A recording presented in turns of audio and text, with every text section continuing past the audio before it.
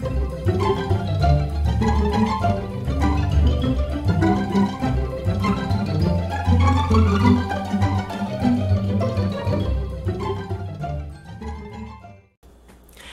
guys, how are you doing? Thank you for joining me.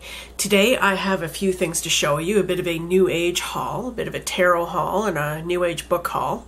Um, I got several books, and the other day I got one more tarot deck, and honestly, this is going to be my last one for a while. I swore to myself because I've been going a little bit crazy lately. But I saw this, I wanted this deck like forever. It's been on my list forever, and I saw it at a store when I was getting a couple of the books I'm going to show you. I saw this deck there, and you know, it's like I said, I've been wanting it forever, and there it was, just like sitting there, like looking at me. So, what could I do? So, um, I picked it up. It is still sealed. I'm going to unbox it. I'm sure many of you have seen this. This is an old, you know, this is this deck has been around for a long time, the Housewives Tarot. Um, actually, I think I heard somewhere that it may be going out of print, so I lucked out actually finding it, if that's true. Um, so, yeah, I managed to swing a copy before it uh, went out of print, if that's the case. But um, anyway, as I said, stay tuned for the end of the video because I'm going to do an unboxing, and I'm sure many of you know the cards, but I will show you anyway, in case you haven't seen them. So let me show you the books I got. Uh, I went to one of my favorite used bookstores and um, I found this. Ever since I got that Sacred Sites Oracle, um, which is just absolutely mind-blowingly amazing, I've been really interested in finding out more about like these the ancient sites and kind of the rituals and and the uh, the feasts and you know all the kind of stuff that you know went on you know back then when the sites were you know in their heyday. So this book really interested me. It's called The Dance of Time: The Origins of the Calendar and um, it was originally seventeen ninety five, and I got it for four ninety nine. Yeah, four ninety nine. And um, it's really cool. It says it's uh, subtitled "A Miscellany of History and Myth, Religion and Astronomy, Festivals and Feast Days," and the author is Michael Judge. Uh, was published in 2004, and this is a reprint from 2012. But um, it's really, really cool. Um, it's got a few different parts, and it breaks it up into seasons: winter, um, winter, spring, summer, and autumn. And you know, New Year's Day, um, Valentine's Day, um, let's see, April Fool's Day, the origins of that. Um, it just sounds really, really interesting, and I know I'm going to enjoy um, reading about this very, very fascinating subject for me, and I'm sure any of you as well. Um, I also found this um, called I Am That. Just the title alone and like the you know the in your faceness of the of the title just grabbed me. And it's by um it's subtitled Talks with Sri Nisargadatta pardon me Maharaj a um a guru in India. There he is on the back there and this is a collection of his uh, of his teachings. And uh, I was browsing through it and I really liked it. It's it's mostly kind of like um, the format of the book is interview. It's like uh, the person questioning him and then him answering. So it's kind of like just a discourse through the whole thing. It's quite large. Quite large. And it is um, including the appendixes. It goes to um, five 550 pages.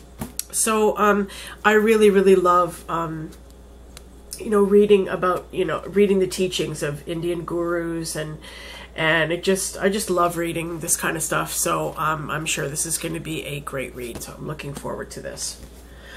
Um, I also got this book called The Spirits Book by um, Allan Kardec. And it says on the back, a guide for ethical living and authority on discernment. And um, inspiration and resolution for the questioning soul. This was six ninety nine at the used bookstore, and it's it's really extensive. Like it's a it's a thick book. And uh, again, this um this book, a lot of it is just interview, like question and answer. This guy is interviewing a famous um a famous, uh, I guess, spiritualist. And, um, you know, he just, you know, talks about all kinds of different subjects. Um, let me see here. Uh, the beginning of things, spirit and matter, properties of matter, um, formation of the planets, the creation of living beings, um, the diversity of human races, the multitude of planets, uh, organic and inorganic beings, life and death, intelligence and instinct, um, the origin and nature of spirits. It's just exactly the kind of stuff that floats my boat. And uh, so I'm really looking forward to reading this. It looks, I was flipping through it and reading some of it, and it's uh, really, really fascinating.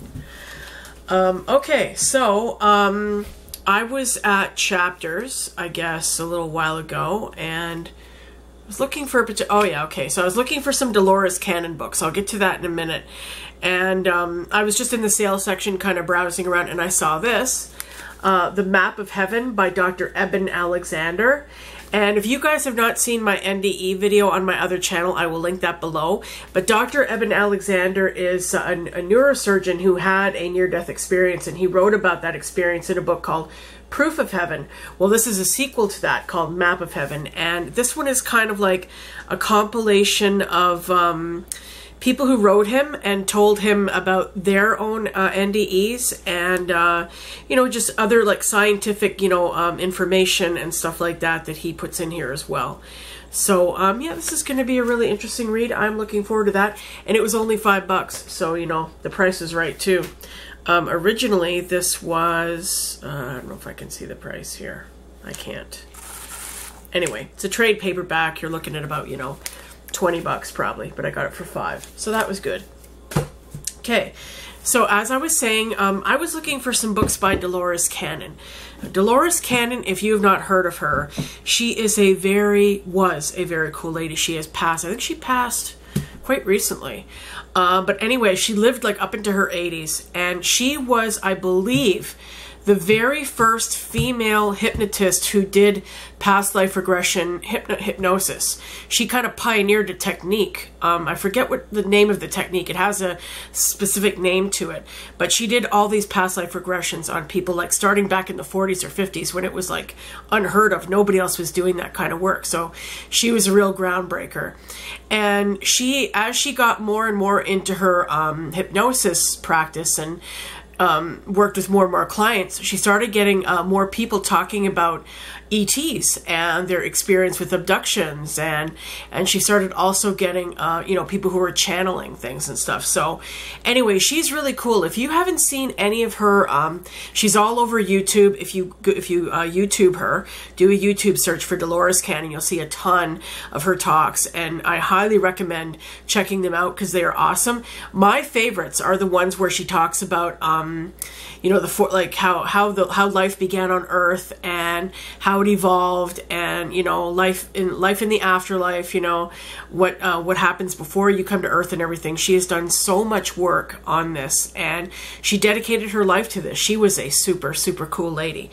Anyway, she's also written a ton of books, and one very um, famous series that she wrote was called The Convoluted Universe, and I got the first two books. I was looking for them at Chapters, but I couldn't find them, and so I decided to go to Odyssey Books, which is um, one of my favorite uh, sort of new agey uh, spiritual metaphysical stores, and they have a ton. They have like everything there. So um, I found the first two. Well, actually, they had book five as well, but I just got the first two. So this is book one of the convoluted universe. And this these books are written again as mostly a series of interviews between like sessions between her and her clients and where they give her information about stuff. And this one is focusing mostly on um, sort of intergalactic stuff and space and um, you know ETs and stuff like that. It's really really fascinating. I love it. I started reading it and I just love it. Um, so anyway, that's book one. And then I also got book two, Convoluted Universe Book 2. It says this is a revised edition. Uh, but some of the things covered in this book are the universal language of symbols, splinters and facets of the soul, hidden underground cities, energy and creator beings, time portals for traveling between dimensions, life on other planets, characteristics of the new earth, and raising of vibrations and frequencies to shift into the new earth. So um, I'm really looking forward to this as well. I just I can't get enough of her. I love her. She is amazing. She was a fabulous, fabulous scientist, teacher, seeker. I just I loved Dolores Cannon. Look her up on YouTube. I'm going to link my favorite talk by her below in the uh, description box. Okay, so let's get to unboxing the uh, Housewives Tarot, shall we? Okay, I've got my trusty kitchen knife. I love this deck. You know, one of the reasons I wanted it was because it's so cute and so fun.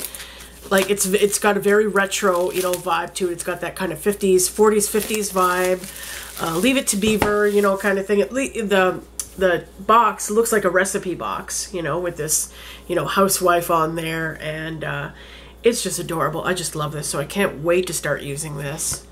So anyway, oh, look, it even looks like it even looks like a recipe box in there. So let's see what's in here. Um, so we've got the Housewives Tarot. There's the uh, cover card, I guess. Uh, oh, and it's it's got a recipe card for the Major Arcana, so it split that for you. Let's see what it says on the back here. Oh, there's a recipe for icebox fortune cake for use with the Neapolitan spread. I guess it has a few different. Oh, there's a little book. Good. Okay show you that in a sec.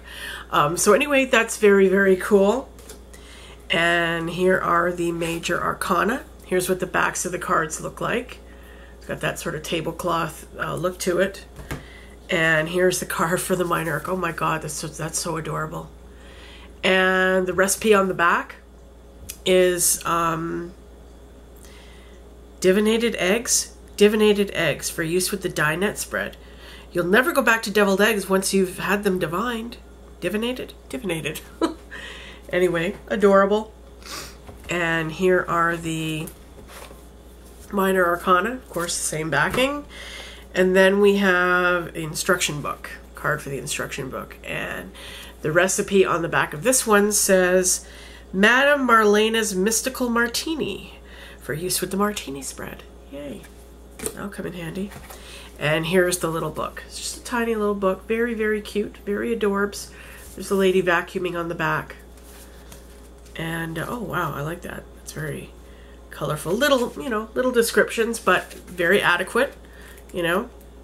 Oh, and they've got a whole bunch of spreads in here, I see. Conducting a reading. Got a three-card spread there. There's a very large spread. Uh, this one looks like a seven card spread. The Clothesline of Life. What's this one called? The Dinette. This one is the Dinette spread right here. That's so cute. Uh, this is called the Martini. Looks like a martini glass. Is that not cool? That's so cool. And so we get into the major arcana. So okay, let's look at some of the cards. I've seen, I've seen them many times um, from other readers doing readings on here with them but um, now I have them myself. So, okay, so here's the Fool. Love it. The Magician. This guy looks like Pee Wee Herman. The Empress. Recipes for Success she's holding up. The Emperor. This guy looks like Chef Boyardee. uh, the High Priestess, and she is a syrup bottle. She's like a Mrs. Butterworth's uh, syrup bottle. The Hierophant, Hierophant, however you pronounce that. Here's the Lovers. Reminds me kind of the, of the Vanessa Tarot. It's got a very fun, whimsical, you know, just cute feel to it. You know, you don't have to take you don't have to take yourself so seriously, you know. Tarot doesn't have to be ultra serious, it can just be fun too, right? There's a strength card. Here's the hermit. Oh, that is so cute. Wheel of Fortune.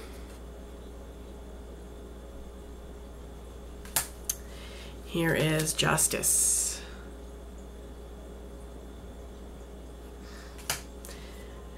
The hangman, oh my god. It's got the guy hanging on the clothesline beside her underwear there. How cute is that? Death. Real salmonella.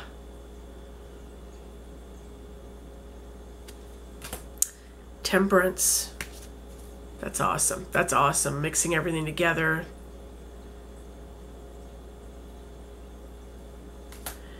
Devil. Ooh, definitely chocolate cake is the devil, isn't it?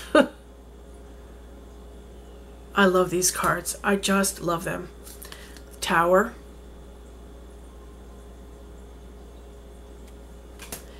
Star.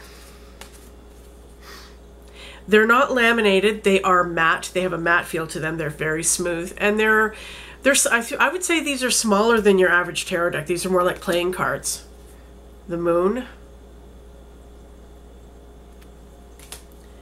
Here's the sun. Oh, I love it. It's two fried eggs for the sun's eyes.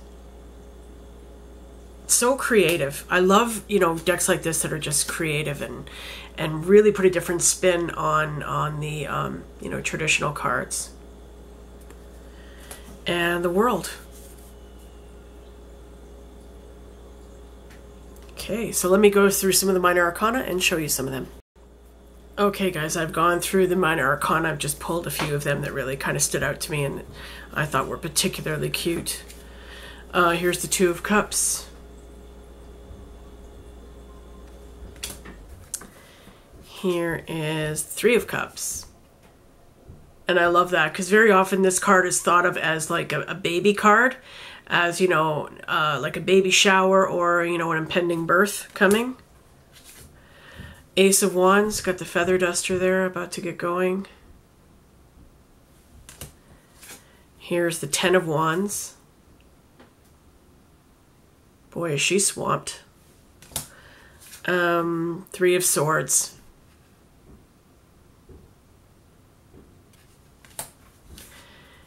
Four of Swords. I love this. It's so cool. She's got her spa day going on there. Knight of I love this Knight of Swords. That is so cool. I love it. The ultimate rebel. Yeah. Seven of Pentacles.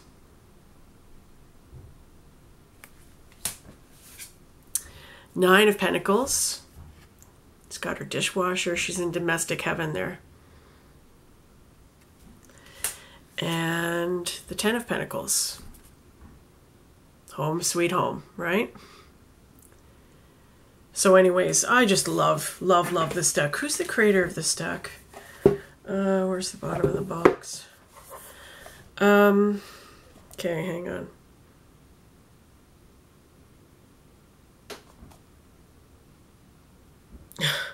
what homemakers are saying about the Housewives Tarot. It's got this on the side here. It says, Mimi Applebaum. Reading the tarot is so easy and it's a great way to entertain guests. Ruth Cooper. Like my gelatin molds, the tarot was full of strange and mysterious things. Janice Terwilliger. If it wasn't for the Housewives Tarot, I'd still be cleaning that filthy toilet. it's got like a coupon on the side here, save. Save yourself from confusion, heartache, and guesswork when you purchase the Housewives Tarot. I don't know who this is by, who created this deck. There's no um, no name on it. Oh wow. Should have looked this up online before I came on here to do this. But anyway, um, oh sorry, it is by Paul Kepple and Jude Buffum. Paul Kepple and Jude Buffum. Well, anyway, they they're genius. I think this is amazing. I just love this deck, and I can't wait to work with this, and it's just going to be so much fun. Hope you guys enjoyed it as well. Hope you enjoyed seeing my my book haul, and um, I will see you again soon. I'll see you on Monday for our weekly draw. Bye, guys. Have a great day.